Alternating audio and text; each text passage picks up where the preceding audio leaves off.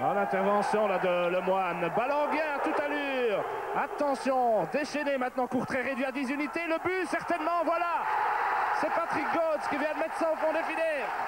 Et Janssen Verkruisen. Marqué de près par Wegria. Bien joué.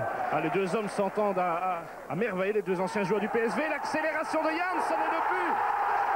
Le but de Anton Janssen. Et bien, depuis l'exclusion d'Eichelbaum, c'est un autre court qu'on voit.